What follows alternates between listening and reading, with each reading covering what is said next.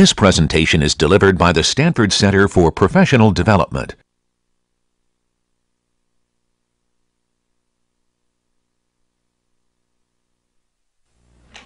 All right, uh, let's get started. So today, a video segment is video segment.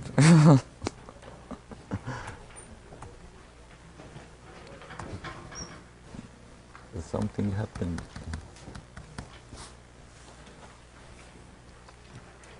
Okay, we have a little problem.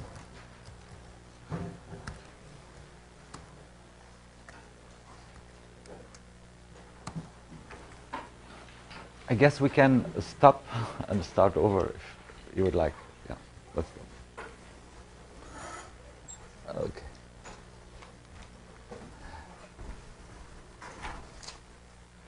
Okay, my computer just crashed.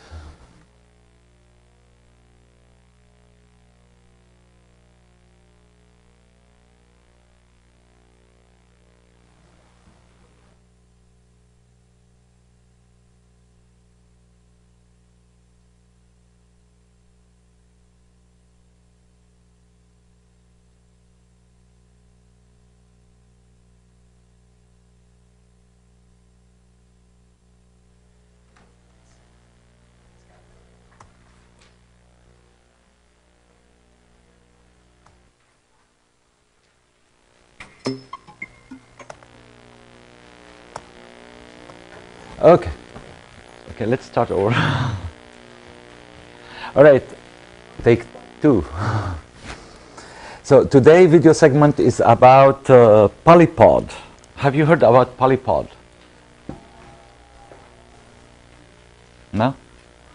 So these are little small robots that we connect to build uh, uh, a shape so that we call them reconfigurable robots and uh, they are modular and uh, uh, there is a lot of interest in this area and one of the pioneer in this area was Mark Yim. Mark Yim was a PhD student in uh, the robotics lab uh, in the early 90s and uh, he is now a professor teaching robotics and building very advanced polypod systems. So I'm going to show you the concept that he proposed in uh, 94 and some of the realization he made at that time. Polypod. If we could have the light off, please. Polypod is a reconfigurable modular robot. It's made up of two types of modules called segments and nodes. Segments are two degree of freedom modules with two motors, force and position sensing, and a microcomputer on board. Nodes are rigid cube-shaped housings for batteries. Segments may be mounted parallel to each other, or they may be mounted perpendicular to each other. Modules may also attach on any face of a node. Simple locomotion gaits are statically stable gaits that move along a straight line. The rest of this video will quickly present a series of locomotion gaits through simulation and implementation on Polypod. Each segment runs semi-autonomously by controlling each degree of freedom with a sequence of behaviors. All of the following motions use two simple behavioral modes called ends mode and springs mode. With the springs mode, a degree of freedom acts as a well-damped spring using force sensors. With ends mode, the degree of freedom moves at a constant speed until it reaches a joint limit. Many of the gaits shown here are extendable to an arbitrary number of modules by adding to the length of the robot.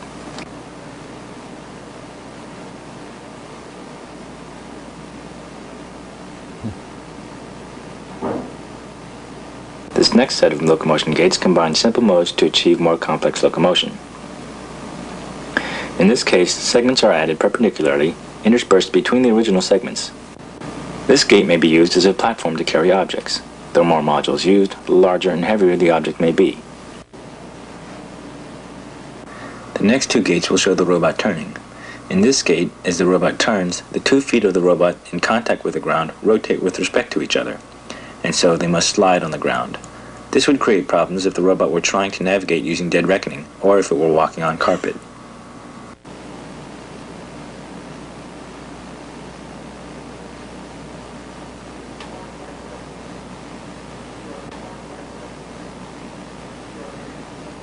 Here, segments are again interspersed perpendicularly between segments. Since the segments are placed on the ground at one end and picked up at the other, no sliding will occur.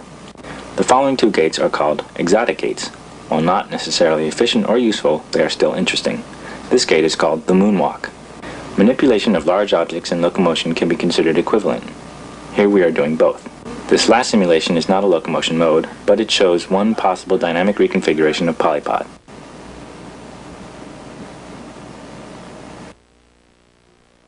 Cool.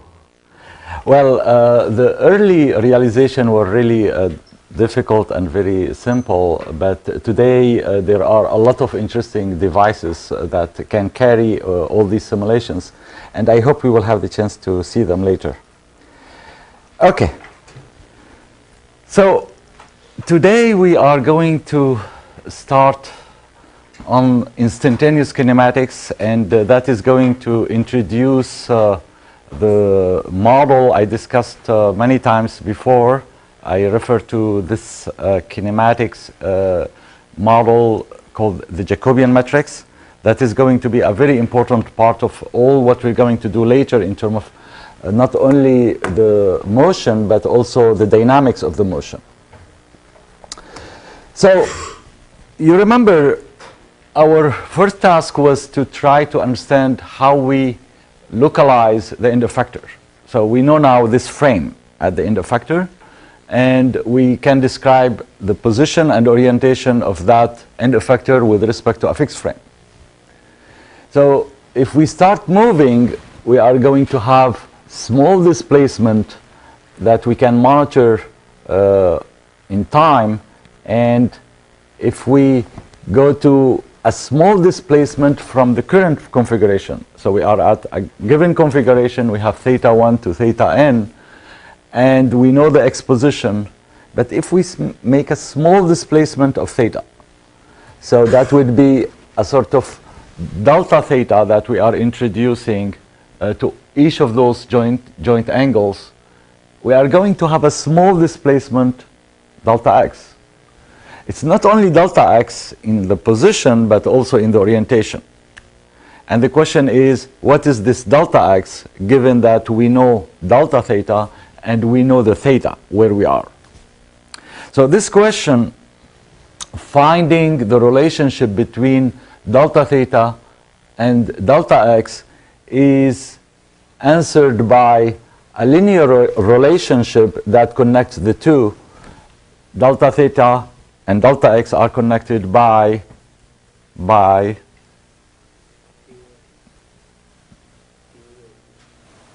oh, I cannot hear you please. Derivatives. Yeah it is derivatives. But what is this model that is going to connect the two? You guessed it now. So delta x is going to be related to delta theta by a matrix. Yeah, the Jacobian. so delta x, delta theta, or the derivative, if we divide by time, theta dot and x dot, will be related to each other through this Jacobian matrix. Now, x dot again involves two things. Remember, our representation of x involves the position and orientation. So there is a part that discusses the linear velocity and there is another part that represents the angular velocity in this vector. So what we need to do is to find this relationship and establish this Jacobian matrix that connects uh, those displacement. So to study the Jacobian, we're going to start by looking at differential motion and we're going to discuss what is, how do we compute a linear velocity at uh, a rigid object, uh, how angular velocity is compu are computed as we propagate, and how we can uh, compute the impact of angular velocity on the linear and angular velocity of the end effector. So this will take place through this propagation of velocities from one joint to the next. And that is going to provide us with a sort of recursive relation that will allow us to find the velocities and the end effector. We are going to examine another uh, way of doing this analysis, rather than propagating velocities, we're going to examine the structure of the kinematics of a robot and its impact on the end effector velocities. And that would lead us to something very interesting we call the explicit form of the Jacobian matrix. That is, we are going to analyze the kinematics and we will see that in each of the column of these matrices, uh, we are going to have an association with the joint, with a specific joint. So if we take the first column, this first column corresponds to the first joint and its impact on the velocity at the end effector velocity, linear and angular. So this explicit form is going to be very important in establishing the model that uh, connect uh, displacement or velocities at the joint and at the end effector. And this model is going to be very important also in establishing the relationship between forces. Forces are acting on the joints depending on the type of the joints. If we have a prismatic joint, we have a force. If we have a revolute joint, we will have a torque. Now, if we apply a set of torques to the arm, there will be some resulting forces at the end effector. It turned out that the relationship between torques and forces resulting at the, the end effector come from the exactly the same model from the same Jacobian. There is a dual relationship between velocities and static forces that we will use, and this will lead us to establishing the relationship between torques and forces. So first we are going to analyze uh, those uh, displacement and what we need is a description of our generalized coordinates. So we picked the joint angles as generalized coordinates, but sometimes we have joint displacement if we have a prismatic joint. So what we will use, we will use a variable we call Q to represent, to capture the joint angle, whether it is a prismatic or a revolute joint. And this is done by saying that by introducing Qi as theta i or di, epsilon is equal to 0 or 1. It's a binary number. So if we have a revolute joint, epsilon is 0. If we have a prismatic joint, it's 1. And epsilon bar is the complement. So the Qi is going to be either theta i or di following the type of the joint. So with the joint coordinate vector q1, q2, q3, now we can uh, go to the representation, find the relationship between the two, that is between x and q, and then compute those differentiations. So we can differentiate, as you suggested, to compute this relationship. And this differentiation is going to involve multivariables. So x, y, z, whatever representation we have, maybe alpha, beta, gamma, and then q, q1, q2, q3. So this is sort of a vector differentiation. We have x1 that correspond to the first function, f1. This could be just the coordinate x, x2 is y, etc. And we have all these functions. So the Jacobian could be computed simply by this differentiation, uh, partial differentiation. We can compute delta x1 as the partial derivative of f with respect to q1 and f1 is function of all the q's, so we would take the partial derivative with respect to all the q's, and that provides delta x1. Delta xm, in the same way, we take the last variable, last function, differentiate, and obtain the relationship. Now here we have a set of equations. How many equations we have? Can you count them? M. So we have m equations depending on how many variables?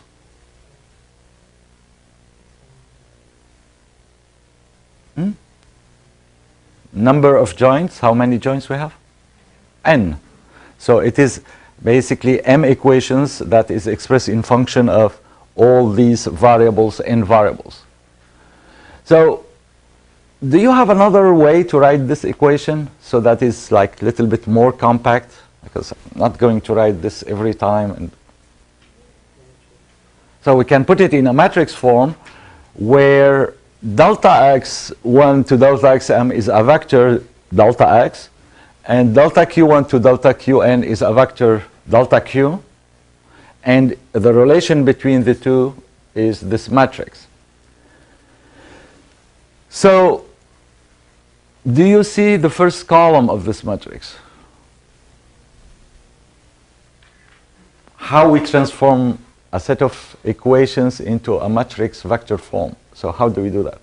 So do you see, first of all, what would be the first column?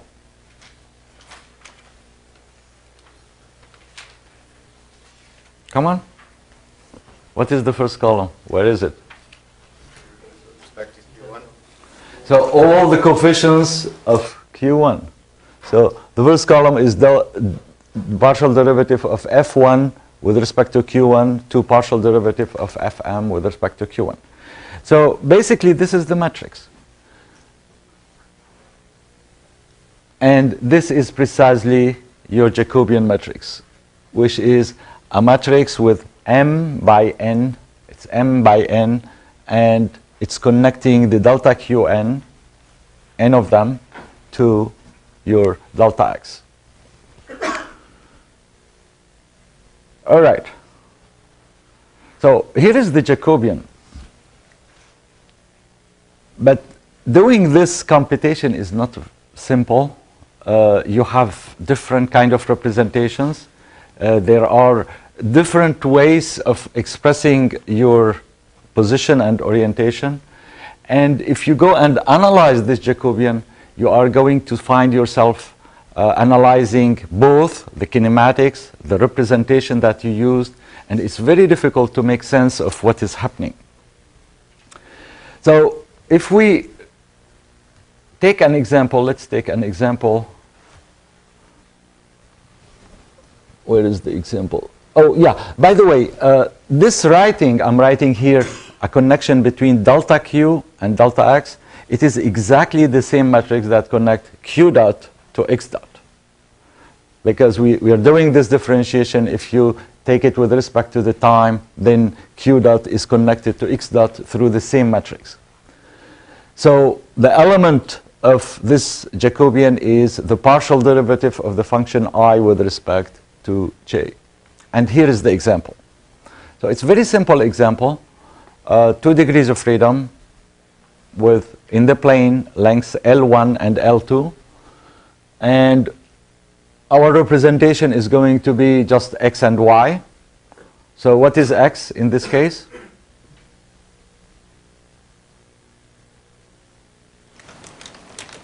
Okay, let's do the DH parameters and do the frame assignment and the propagation. Or maybe you can just give me x directly by looking at the figure. And this is finished. Oh, good. Good to know. I didn't ask for this. Okay, so what is x? You have theta 1 and theta 2. So x will be on this direction. So it will be the cosines. So it will be L1, come on, cosine theta 1 plus L2 cosine theta 1 plus theta 2. Right, because we are taking with the, and the, the, the, the signs will give you the y. So here is uh, L1 cosine 1 plus L2 cosine 1 plus 2 and y. So in this case, to differentiate, it's very simple. The differentiation gives you this, and now you have your matrix. And you could see that uh, the first row is minus y, the second row is just x. So the Jacobian in this case is quite simple, and this Jacobian gives you this relation for small displacement delta theta, you can compute the corresponding displacement delta x, and for small veloc- for velocities in joint space, you have velocities at the end effector. Actually, this matrix has been widely used to control the robot. Because you can say, I'm here, I would like to move the end effector with uh, little displacement. You can take that displacement and generate a trajectory and compute small displacement delta thetas. So you want to find the delta theta that correspond to your input delta x. You want to displace the end effector by little bit. You compute the corresponding delta theta. So how do you do that? How do you extract delta theta from this equation? We take the inverse, and using the inverse of this matrix, we can compute a delta theta that corresponds to delta x. And then we can drive the robot this way. And many industrial robots are driven using the inverse of the Jacobian. So let's take another robot we examined and see how this extends, how the Jacobian becomes a little bit more complicated. So uh, this is a six degree of freedom that involves one prismatic joint. And uh, you remember the schematic of this robot, theta 1, theta 2, theta 3. Theta 3 actually is D3 and the last rotations. And we have this table of DH parameters uh, providing us with the description of links with respect to previous ones. And using this, we computed x, y, z for the position, these invisible three first component. Uh, this color is really difficult, but this is x, y, and z. And what is this vector? So the direction cosines, this is the x-axis of the last uh, frame, that is the axis attached to the end of effector, expressed in the base frame. And the second set of ups, and this is the y-axis, and this is the z-axis. Okay, so let's differentiate and uh, Okay, the first one is very simple. You differentiate uh, the first one with respect to cosine to q1, you get minus y, you get sine 1, sine 2, d3 plus cosine 1, d2. And, uh, and you differentiate with respect to q1, the last component, that is the z component, you get 0. So now I want you to give me the second column. So how do we find the second column of this Jacobian matrix?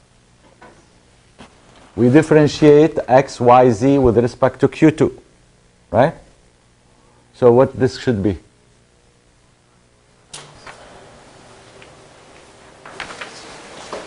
Someone said cosine 1.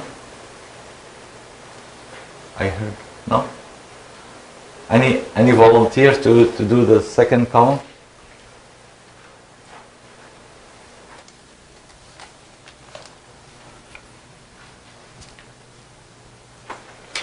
So the first variable is x, which is it has is it, it has a function of q2 in sine 2, right?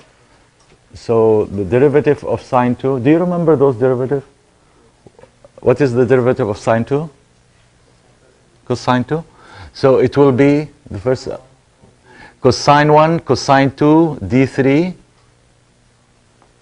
and that's it. The second uh, component, sine 1 d, cosine 2 d, 3. And the last one, minus sine 2 d3. So that's correct? Okay. So what about uh, the third column? We derive with respect to d3 or q3 this would be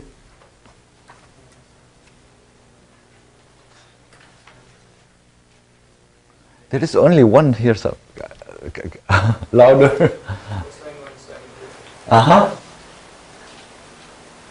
And, 1, sine 2. and cosine 2. Excellent. And with respect to Q4?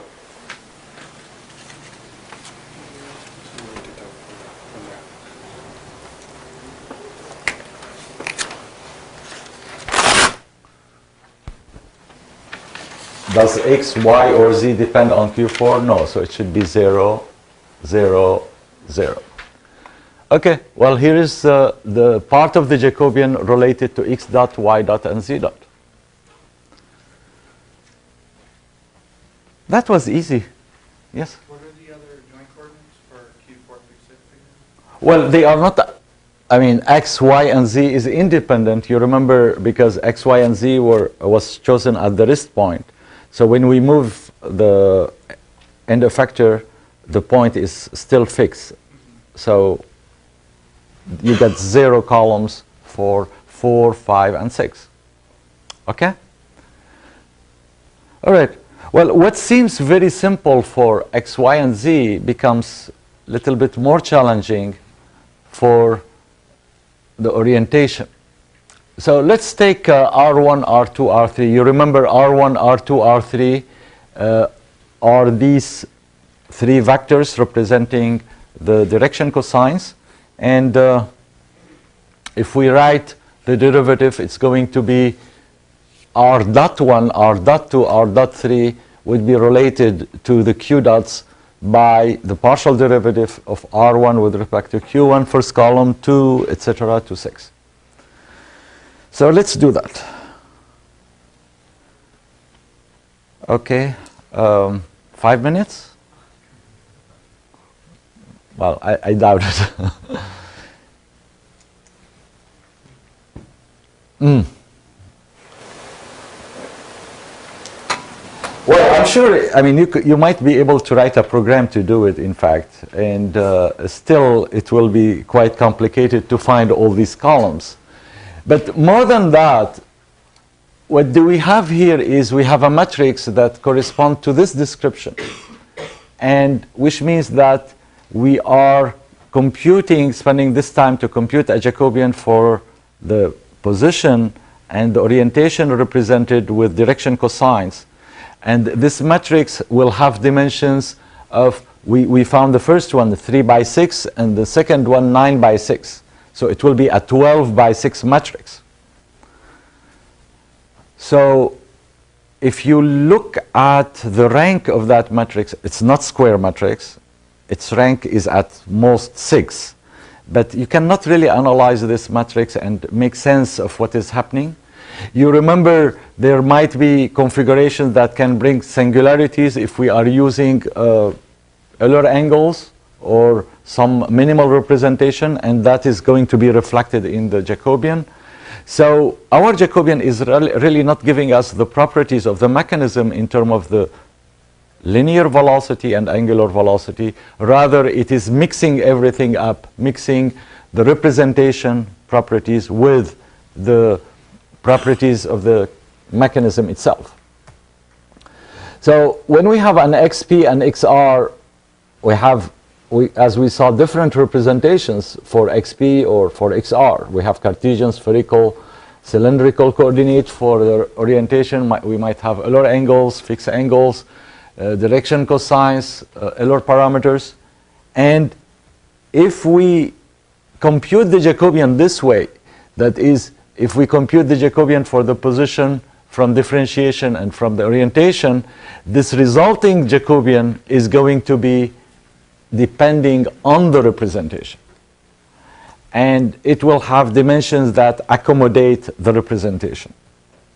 So this is not something that you want to do. You are trying to find the Jacobian of your robot. You want to find the properties associated with the robot in terms of its linear velocities and angular velocities. So this is really what we are after. We are trying to find how the end effector moves when we uh, put velocities at the joints, when we make small displacement at the joint. What is the linear velocity? What is the angular velocity? So the linear velocity and angular velocity will be related to q dot. And there is a matrix that uh, provides that relationship. Uh, it is the Jacobian matrix that connect this 6 by 1 vector. Linear velocity is Vx, Vy, Vz. Angular velocity is omega x, omega y, omega z. And q dot has the number of degrees of freedom. And this Jacobian will be sort of like the basic Jacobian that is describing the kinematics independently of your representation. What is interesting is this Jacobian J0 will play a very important role in the kinematics, but also in describing the velocities for your representation. Any representation that you will have can be connected to this Jacobian because any representation of velocities can be connected to linear and angular velocities. These angular velocities are instantaneous. So there is Uh, uh, there are representation of the orientation if we take th three Euler angles alpha, beta, gamma. If you take the derivative of those angles, alpha dot, beta dot, gamma dot, they are related to omega. They are not equal to omega. The derivative of Euler angles are not angular velocities, but they are related to the angular velocities by a representation, by a very simple model, a 3 by 3 matrix, and using those relationships, we will be able to describe the Jacobian for any representation and connect it to this Jacobian. So if we have spherical coordinates, the derivative of the spherical coordinate are connected to the linear velocity by a simple matrix that is only function of the representation of spherical coordinates. If we have Euler angles, we connect them to omega simply by a 3 by 3 matrix that only involve alpha, beta, and gamma. So through this relation, we can see that we can connect x dot for the position and orientation to v omega. And because v omega is connected to q dot, then we can have a relationship between the Jacobian associated with this representation and the Jacobian associated with the kinematics. So here are some examples. If we take Euler angles, so if we take alpha, beta, gamma and take the derivative, we can see that these derivatives of alpha, beta, gamma are related to omega by a matrix, which is in this case the sine of alpha cosine of beta. So it is only function of Euler angles. If we take Cartesian coordinates, the matrix that connect Cartesian coordinates to linear velocity is simply the identity matrix because the derivative of Cartesian coordinates are the linear velocities. So using this uh, step of computing the linear and angular velocities, we will be able to generalize and find the Jacobian associated with any representation. So the Jacobian for a representation x, x is xp and xr, will be a Jacobian we call jx for that specific x. And this Jacobian will be related to the basic Jacobian by a matrix E, where E is going to connect the descriptions of linear and angular representation to V and omega through this relation. So here is an example. If we take uh, x dot as related to V through this matrix and x dot r related to omega through this matrix, because V and omega are related to q dot by j, V and j omega, then we will have this relation which leads to this relation that is the part associated with the position representation is simply the Jacobian V associated with linear velocity pre-multiplied by EP that is the which is function only of the representation, or ER for the rotations. Which means if we combine them together, we obtain this relation that is the Jacobian associated with a representation is related to the basic Jacobian by an E matrix that has a diagonal form where EP is the matrix associated with the linear motion and ER is the matrix associated with your representation of the rotations. So if we select Cartesian coordinates, EP will be what? Identity matrix. So if we have always Cartesian coordinate, we have only to worry about ER. Okay. You get this point? So now the focus is on J0. We have to find J0. Linear and instantaneous angular velocities. But first, let's uh, examine some E's. For the position representation, x, y, and z, we said is the identity matrix.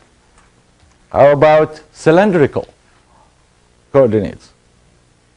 Cylindrical coordinates, you get rho, theta, and z. And here is the relationship between x, y, and z and those coordinates. All what you need to do is to relate the differential relationship between delta x, delta y, delta z, and those coordinates, and you find the matrix. And that leads to this matrix for cylindrical coordinates. What is nice is, yeah, you go and store this in your library and you have access to all these. You don't have to recompute them. So for cylindrical coordinate, you have this matrix. For spherical coordinates, you have this matrix. So these are things just are there. If you want to change your representation, you just change your EP. Now, for the Euler angles, we saw that we have another uh, relation that is the this 3 by 3 matrix. Anything special about this matrix you notice?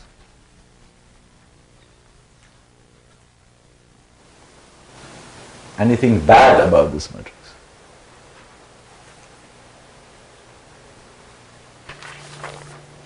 No? It's fine? Yeah? Problem is sine beta is equal to zero. Very good. You remember what happened when we had sine beta equal to 0 before?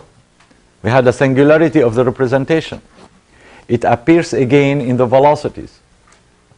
So when you get to that location, you have a problem because every time beta is equal to some integer times pi, you have a problem. And that is the problem with Euler angle representation or any minimal representation.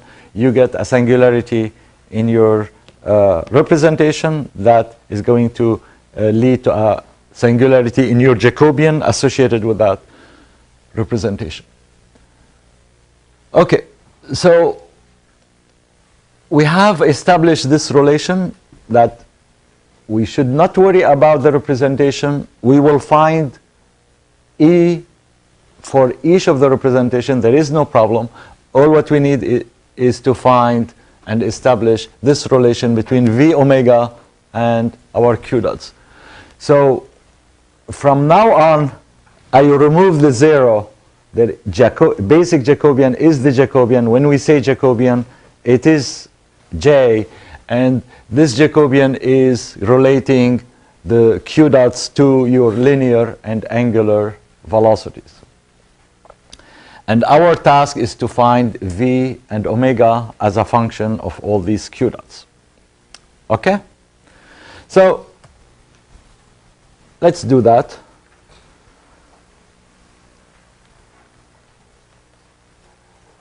I'm almost certain all of you understand what is the vector of linear velocity, but probably there is some confusion when we start propagating and moving and putting multiple rigid bodies and multiple frames. So I'm going to go a little bit back and describe how we can compute linear velocities as we propagate our vectors and we go from one link to the next. So here is a point and this point is moving with respect to something. If it is moving with respect to the origin of frame A, we talk about the velocity, we talk about the velocity p of that point with respect to A, A being the frame. Now, you have to distinguish between this magnitude of the velocity and its direction as a vector and its components and where we are expressing this vector. So this vector could be expressed in frame A, right? We can have its component in frame A. But also we can express it in frame B, and we can have its component in frame B. But still, this vector is the vector representing the velocity of frame uh, of point P moving with respect to frame A. Now, if you want, we can put it in C. So don't be confused about the vector and where we are expressing this vector. And that's why I'm putting P slash A specifically to show that I'm measuring the magnitude of the velocity, the vector of velocity with respect to frame A. Now, let's have the following situation. I have this point that is moving with respect to frame A. So I have a vector representing the velocity of point P with respect to frame A, this vector. Now, if frame A is moving with respect to another frame, and this is the case of link 3 moving with respect to link 2 or whatever, there is a velocity of the origin. And if this velocity is the velocity of the origin representing, representing the velocity with respect to frame B, the question is what is the velocity of P with respect to frame B?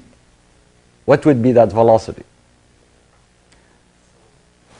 Obviously, it's going to be the sum of the velocity with respect to frame A and the velocity of with res- of the origin with respect to frame B.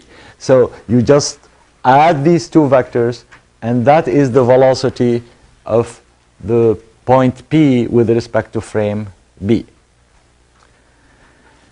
So here we discussed the motion of the frame, frame A with respect to B, and this motion is uniquely produced by a translation with a velocity VA of the origin of that frame with respect to B. Now, it becomes a little more complicated when you have a rotation.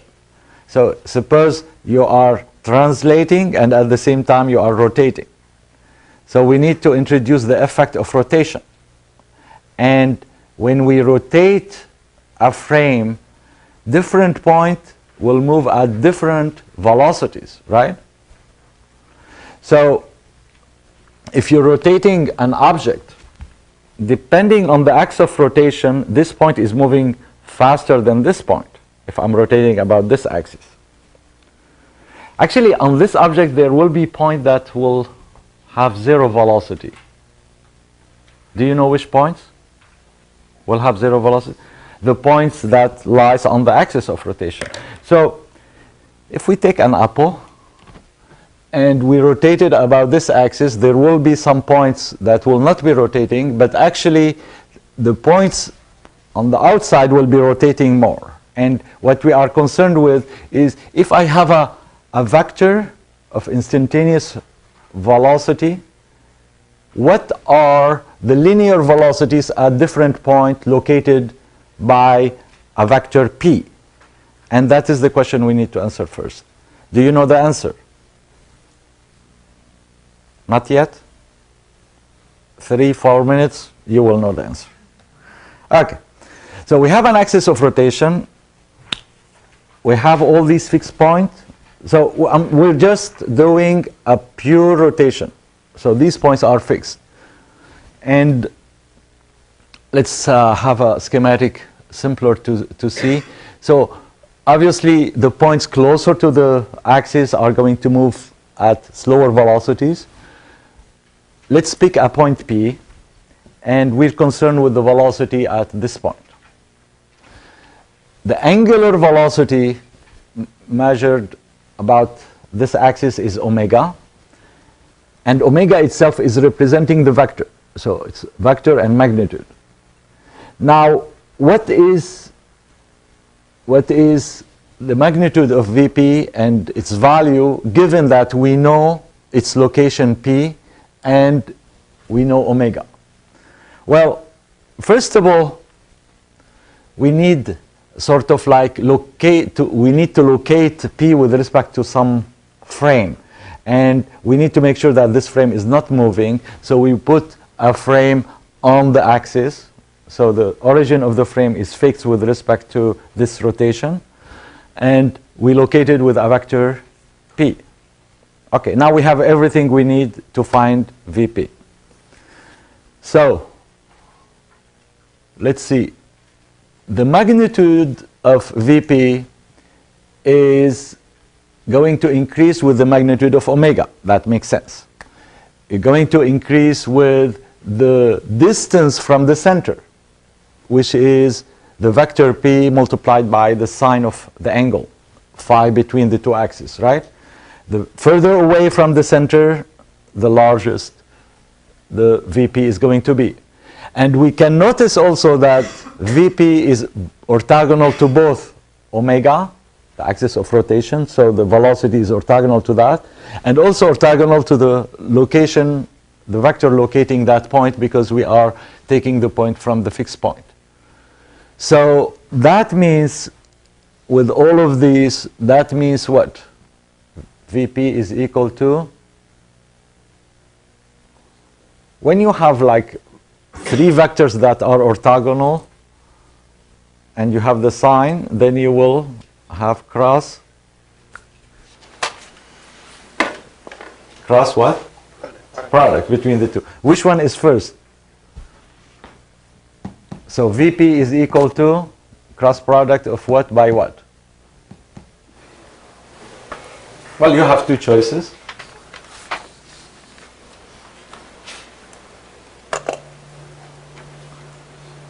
I said well, you will know in four minutes, and it is almost four minutes. So here is the answer. Where is the answer? here. so it's omega cross p. It's not p cross omega. By the way, we will see p cross cross f to produce the torque. There is a, a dual relation. So here we have velocity, you have omega, you have the point. Now you can imagine on the same figure that instead of omega I'm applying a torque, and the result will be a force. And there is a similar relationship between the two. And in that case, the relationship will be uh, involving the distance first times the force and to produce the torque. Okay, we will see that later, probably on Monday.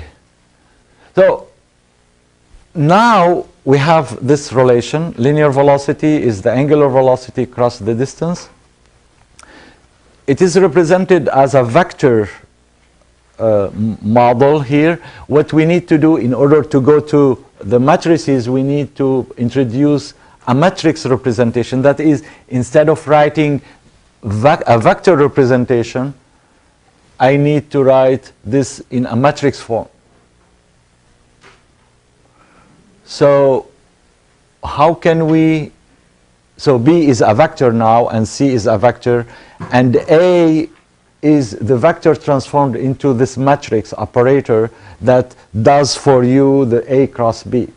So we need the, to find this A hat, the operator that is equivalent to A cross. Are you familiar with this? The cross product operator?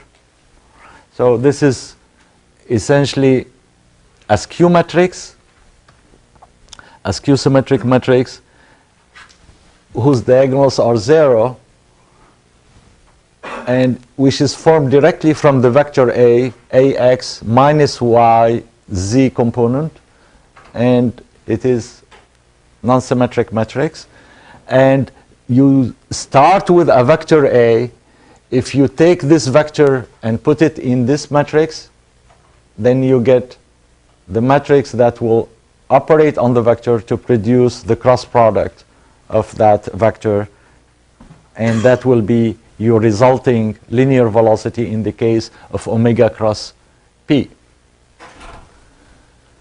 Okay, so we represent a hat as this operator. All right, so in our case, Vp is omega hat cross the vector p. And omega is this matrix.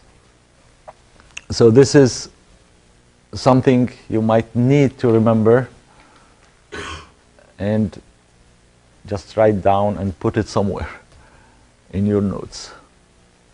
Okay, let's use it. So now that we are going to combine linear and angular motion,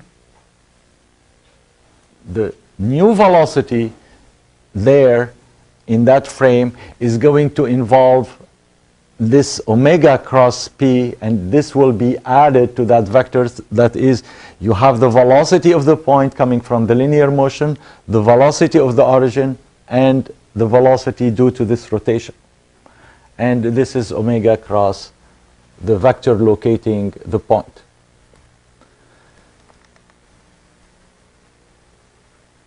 now be careful about where you express your vectors because if we say we are going to compute those quantities to express them in frame A, the result has to be expressed of each term should be expressed in frame A. So if we have the vector P expressed in frame B, we have to transform it to frame A and then do the multiplication and we have to express this in frame A so that the whole result is finally in frame A. So you have to make sure that each term or each vector is expressed in the same frame. It doesn't matter which frame it is, but it has to be in the same frame. And if you need A, then everything has to be transformed to A. Wow, we went fast. Good.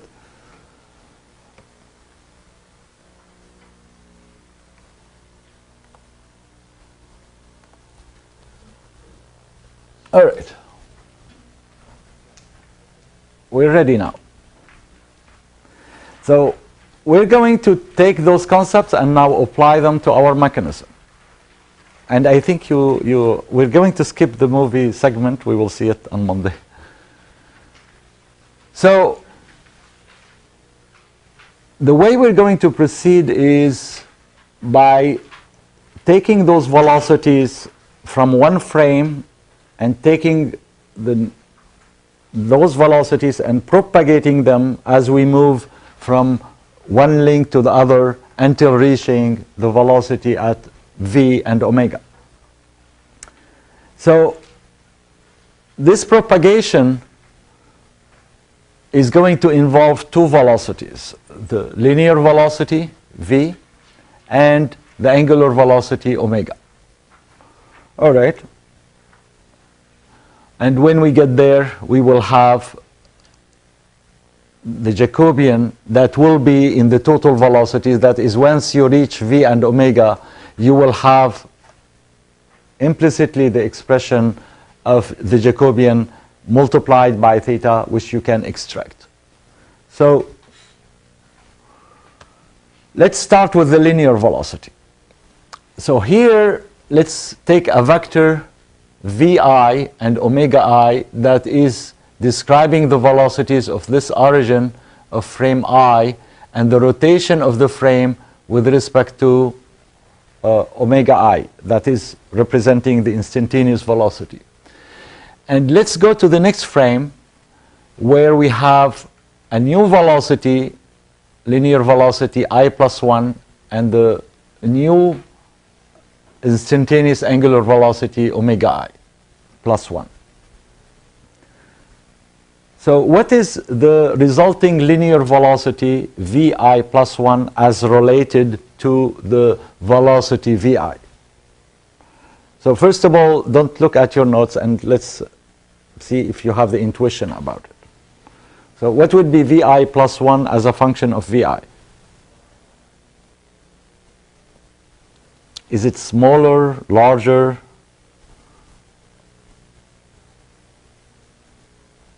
So Vi plus 1 is going to be equal to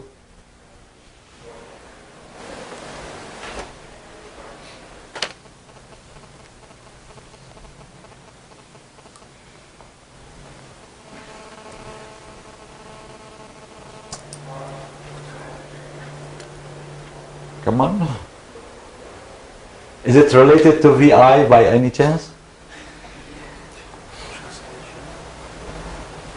So th- there is a translation. Everything is moving with VI. So the VI plus 1 is going to have VI in there without doubt. But there are two terms that will appear. And the first one is omega i cross pi plus 1. You didn't tell me why, but maybe now I'm showing you what is the term. Tell me why. Yes. Well, any movement in this, in this frame is going to add to the linear velocity in that one. So the linear velocity is computed at the origin of that frame, right? So the omega involved will not be that omega i plus 1, the large omega i plus 1, this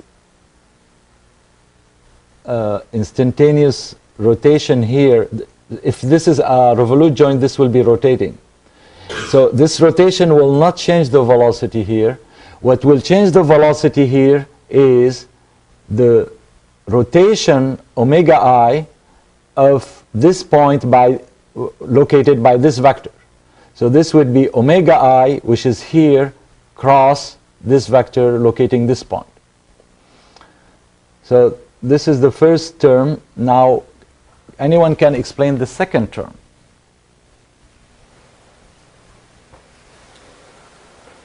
Yes. Prismatic, joints. So the second term only appears if that joint, the z-axis, was not a revolute joint, but was a prismatic joint that is translating along the z-axis, so along zi plus 1, and the magnitude will be the d dot i plus 1. d is a variable in this case for the prismatic joint. So this is the d dot i plus 1 zi plus 1 is the local velocity in frame i plus 1 of that point and the omega i cross pi is the contribution of the rotation of the frame and plus all the translation that were happening before. You had a question? Oh, yeah. It looks like the prismatic is on the ZI in that frame. uh, it is always on the zi plus 1. So th- this will appear only if this was not revolute, it was prismatic, and it is translating along the zi plus 1. Oh, I just assumed because I saw the, the two-headed arrow over in frame Yeah, uh, yeah. Uh, it- I'm, I'm not representing d dot here. Okay. Okay. Now, what about angular velocities? We are concerned with what is omega i plus 1 as a function of omega i. So, if the joint i plus 1 was prismatic, so there is no rotation between the two, what would be omega i plus 1? It will be identical to omega i. If it is revolute, then there will be the omega i plus 1 that will be added. And omega i plus 1 is simply the dot of theta i plus 1 along zi plus 1. So to propagate from one frame to the next, what we need to do is to take this, these two relations and go from the base, the fixed base, where V0 is 0, it's attached to the ground, and omega 0 is 0, there is no motion, and propagate to the end. And when we reach the end, we are going to have the V associated with the end effector, the omega associated with the end effector. Now, in those relations, what do you see? You see that you are using d dot and theta dot. And the kinematics, obviously, the z-axis. So that means we are going to be able to compute the total velocities v and omega at the end effector as a function of the theta dots and the d dots. All the q dots, yes? Um, are these two frames rotating independently? Like, is there a revolute joint in on i and is there a revolute joint in i plus 1? There is a revolute jo- it, there could be a revolute joint in frame omega uh, in uh, i plus 1 or a prismatic joint. And depending on the nature of the joint you get either d dot or you get the omega i. Okay?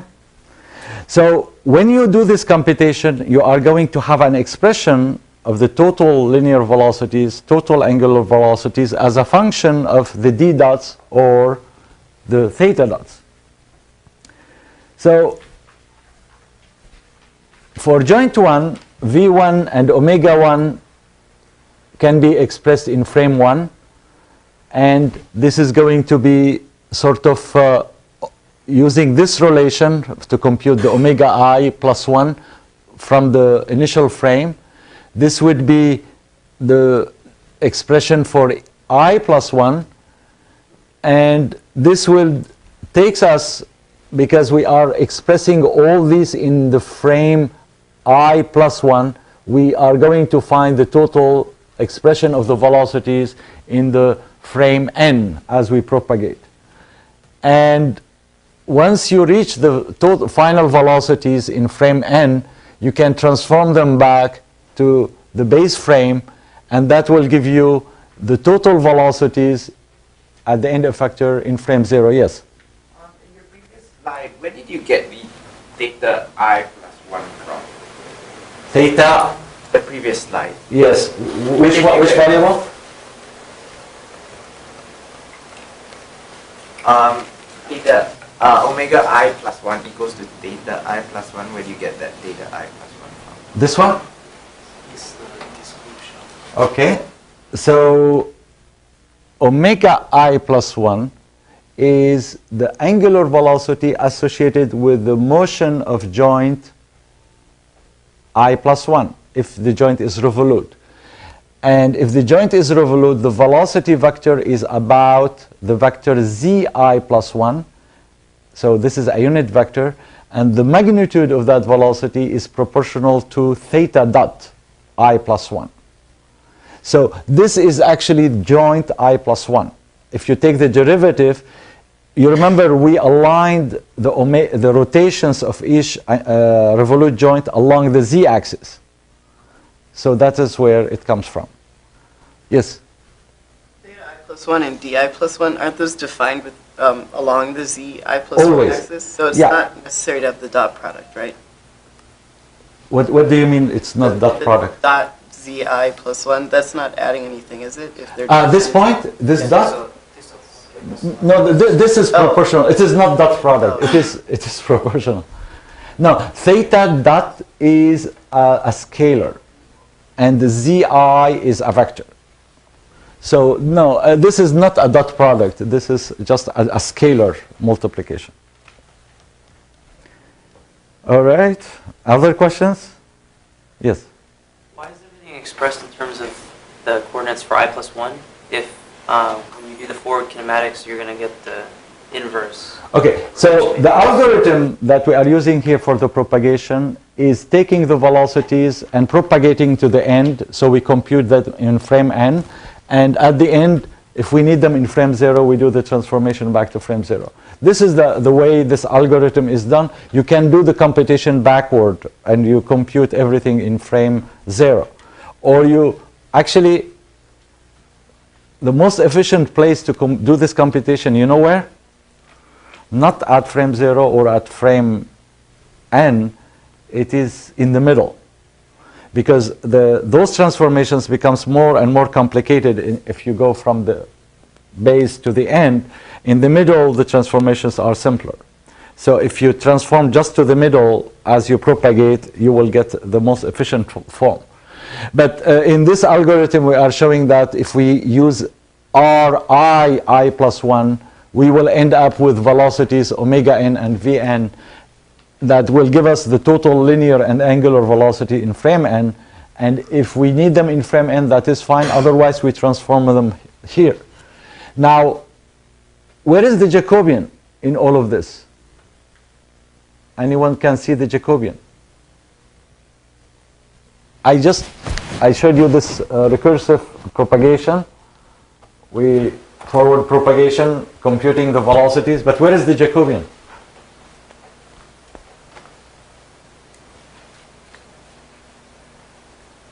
No? You cannot see it. Well, it is there.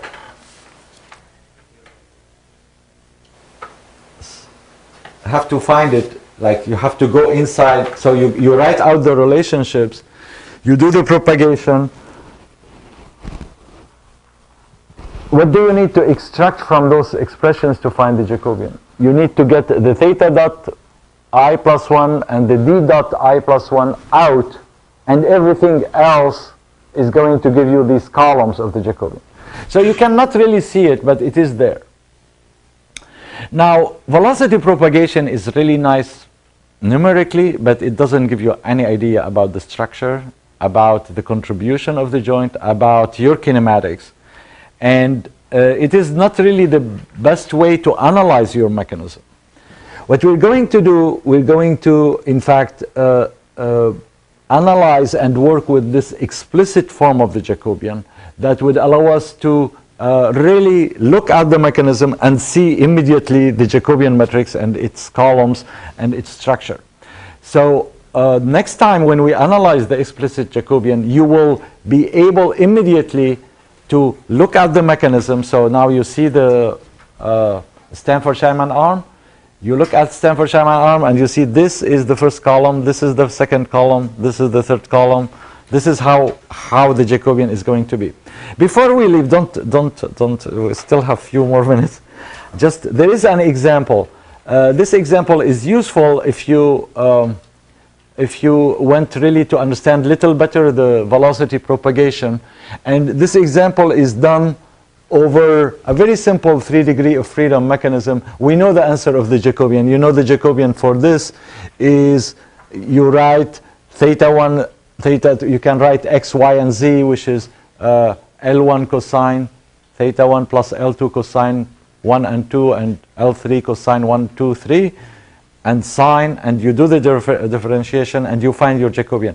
At the same time, if you do it through velocity propagation using these relations, you go to the first propagation, the base is at zero, you compute the linear velocity at P2, you compute it, you get uh, this expression, you compute the velocity of 2. So just take a look at this example and once you completed the propagation, you find that your omega vector is the sum of these velocities, which means essentially your total omega is coming from these three rotations, one, two, and three contributes to the total rotations of, uh, uh, of your end effector.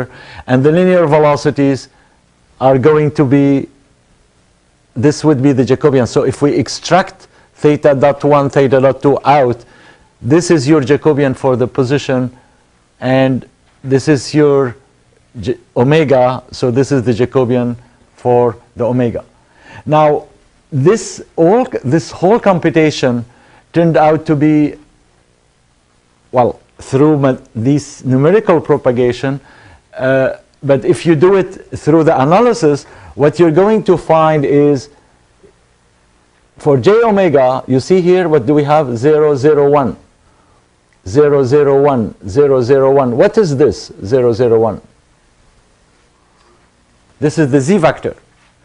All the omegas are rotating about the z vector, which means essentially the Jacobian associated with uh, angular motion is simply the zi vectors associated with the joint angles. What is this? Well, I mean, this could be directly computed from the partial derivatives, or it could be computed from this cross product of those joint uh, angle rotations with the point locating that point. So we will see that structure next time, and then you can see much better the properties of the Jacobian as relates to the kinematics of the robot. I will see you on Monday.